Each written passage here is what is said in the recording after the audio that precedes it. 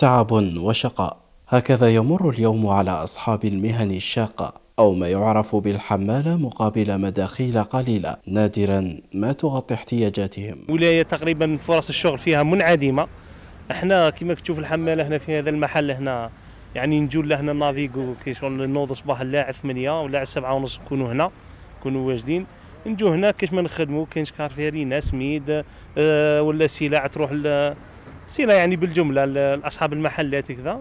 إحنا نخدموا على رواحنا وندو ندو أجر بالمقابل العمل تاعنا. مع ارتفاع الأسعار وما نتج عنه من ركود تجاري تأثرت هذه المهنة هي الأخرى فلم يعد الحمال مطلوبا كما كان في السابق. مما خلق أزمة مالية لدى هذه الفئة. كنا نخدموا كنا تجدي الخدمة أنا نخدموا نورمال عادي بصح دروك ما كاينش. الحياة حبست ملي لحقت كورونا صاي.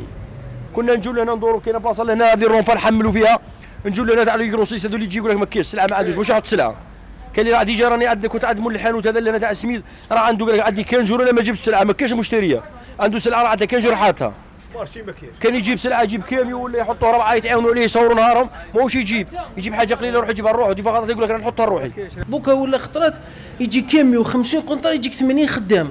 هذا عنده ست أنفس. هذا خدم خدم على مرته ولاده هذا خدم على الأم تاعو كل واحد دوكا ما كاينش كيف خطات مالف خدمة كاينة التالي فيهم يخرج 100 دوك كثرة تاع البطالة اللوزينات ما كانش الأسعار زادت. شكون تاع سميت كانت دير 100000 دوك دير 130000 في اللي نورمال عليه ماناش معمروا رانا نخافوا هم فئة اختاروا العمل في كل الظروف وما زالوا في صراع دائم لتحصيل قوتهم. رغم كل ما يواجهونه في مهنتهم.